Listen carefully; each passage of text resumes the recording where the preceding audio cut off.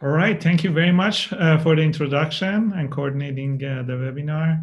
I'm going to share my screen.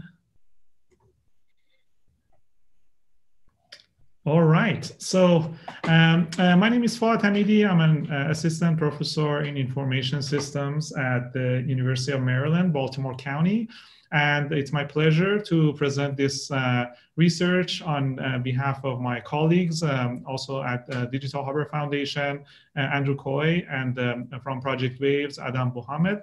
This is a collaborative uh, rapid uh, project, um, and it's funded obviously by the NSF. So um, the, the topic of the project is responding to COVID-19 with community internet. So across the United States, uh, there's a significant number of people who lack uh, broadband access uh, to internet in their households.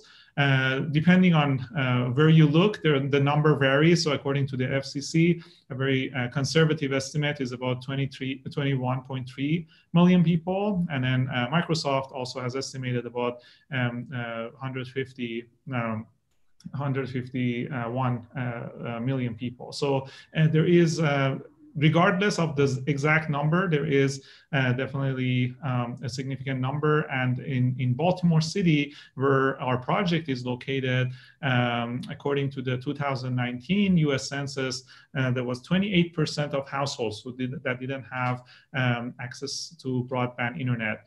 And also, uh, the Baltimore City Schools uh, did a rec uh, recent survey in response to COVID, and uh, about um, 24,000 students don't have access to uh, devices or the internet connectivity during this time. So this is obviously a problem even in the absence of COVID, but of course, with, the, with COVID, there is a lot of opportunities, including employment opportunities, educational opportunities, and also access to um, to opportunities for uh, social interaction that people are missing out if they don't have this internet accessibility.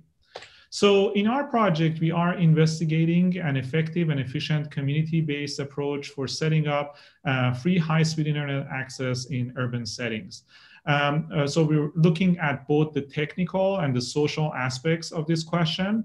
On the technical side, we are looking at how to set up uh, mesh networks in an urban setting. So a mesh network essentially connects to the backbone internet using a wired link, and then you can um, uh, distribute uh, routers, wireless routers across a, a, geographical space and quickly set up um, internet activity uh, or network connectivity. In our case, it's the internet uh, across the community. So um, our project uh, involves three phases. So uh, first, first it involves setting up points of presence. So in the city, uh, we partner with um, organizations that have um, basically points of um, uh, uh, points of access with uh, good visibility. So there should be um, basically a clear line of sight between an antenna and the routers that we want to connect with.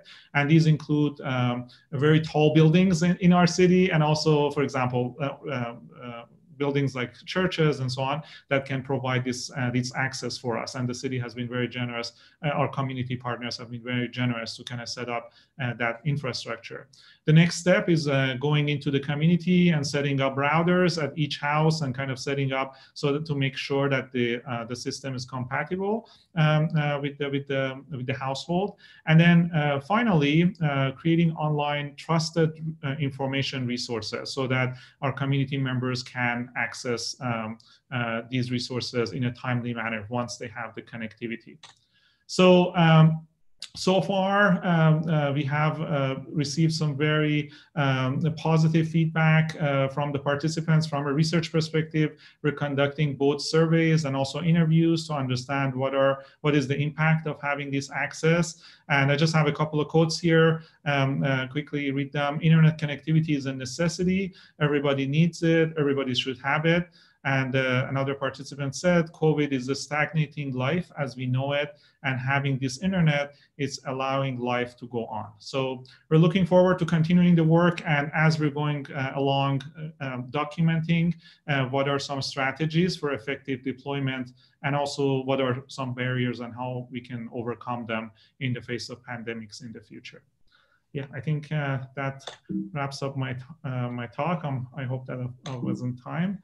Uh, I think I have one last slide. Uh, so there's a lot of people involved here. I want to thank my students and also amazing community partners, Project Waves, uh, working on the ground, setting up the infrastructure, and also the Digital Harbor Foundation, uh, iteratively creating online resources for the community and getting feedback from them to see what is needed.